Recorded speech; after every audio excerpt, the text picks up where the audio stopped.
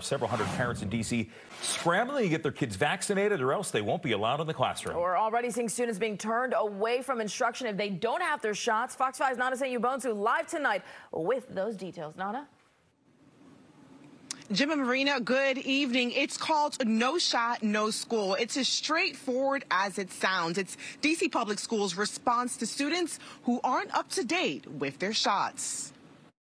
I think I kind of worry about kids' health and safety in schools. This mother is trying to stay on top of the vaccination requirements for her little ones, especially her son, who is in kindergarten. He got a shot earlier this year. So she's good to go, but there are dozens of DC public school students who were turned away from class this week for missing immunizations. Now we're seeing a little rush uh, as families uh, realize that the school districts and, and health department were serious this year um, and started excluding people on Monday.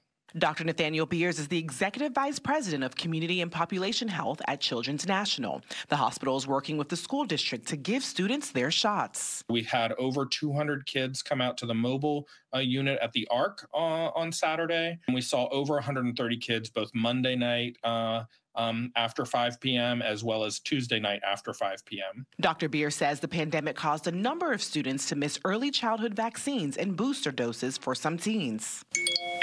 The school district tells Fox 5 that they sent families a number of notices, including this one that says if the school does not receive proper immunization documentation, your child will temporarily be excluded from school beginning December 4th. In a statement from the Office of the State Superintendent, they tell us that the law requires all students, including private schools, to be fully compliant with required vaccinations to attend school. The goal is to make sure that the number of kids in schools uh, that are vaccinated is adequate to prevent the spread of preventable childhood illnesses in schools.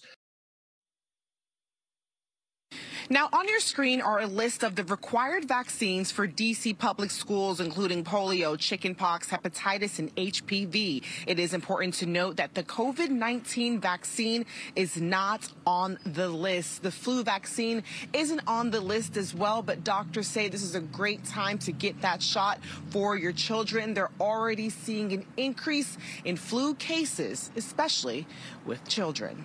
Guys. For the third time this